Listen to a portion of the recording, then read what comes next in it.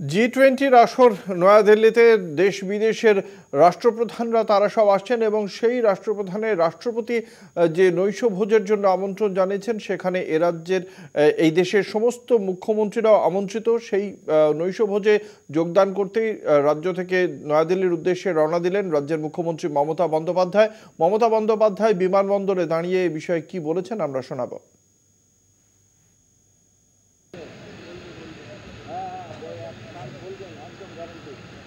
Didi on the historical win of the Dhupguri seat which was occupied by the BJP.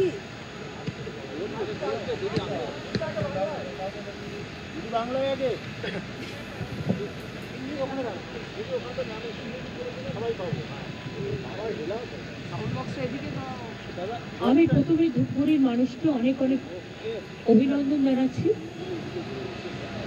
চা বাগান থেকে শুরু করে আমার রাজবংশী সম্প্রদায় থেকে শুরু করে হিন্দু, মুসলিম স্মৃতি চাই। সকলে তারা যেভাবে তৃণমূলকে সমর্থন করেছেন এবং লোকসভা আসনে এটাতে বিজেপি প্রায় উনিশ হাজার লিড ছিল এই আসনটা। এটা ওদের একটা শক্ত ঘাঁটি এবং ওদের মিনিস্টাররা এক মাস ধরে বিভিন্ন মিনিস্টার নেতারা সব পড়েছিলেন ওখানে। এবং প্রত্যেকটা হোটেল বুক ছিল। একটা জায়গা ছিল না যেখানে কেউ যেতে পারে। তাই এটা একটা আমি মনে করি যে নর্থ বেঙ্গলে বড় জয়। আমি সারা বাংলার জয়। এবং কালকেই আমরা বাংলার প্রতিষ্ঠাতা দিবস বলে আলোক মানে পেশ করেছি এবং এটা রেজুলেশন ন্যাচারালি এটা কারও কাছে যাবে না। জাস্ট ইনফরমেশনটা আমরা পাঠিয়ে দেবো। এটা আমরা অলরেডি কালকে টু থার্ড ভোটে পাশ করেছি। এটা বাংলার মাটি, বাংলার জলের জয়। এছাড়াও সারা ভারতবর্ষে যে ইলেকশন হয়েছে তাতেও সম্ভবত সাতটা সিটে ইলেকশন হয়েছে। তার মধ্যে চারটে সিটে বিজেপি হেরেছে। আর উত্তরপ্রদেশের মতো জায়গাতেও হেরেছে। জিতেছে যে তিনটে তার মধ্যে দুটো ত্রিপুরা, কাউকে লড়তেই দেয় না। সে আবার পুরো সম্পূর্ণ নাইনটি পার্সেন্ট ভোটে।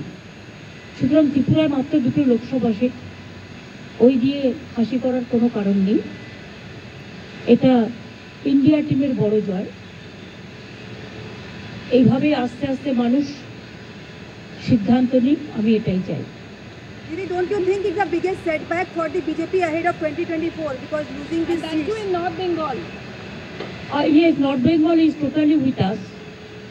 From Darjeeling to Kuchbihar to Alipurduar to Jalpaiguri to Uttar Dinajpur, Dakhin Dinajpur, you have seen that they, all the Jila Parishad we have won. Panchayat election also. Out of 20 district, 20 district, 23 district, 23 district we won the election before two months ago. And Dhupguri, it was a BJP seat and we won this election. It's a historic election and I congratulate all the people of Dhupguri and also wherever the BJP lo- lost, lose and other India party win, I congratulate all of them. Thank you.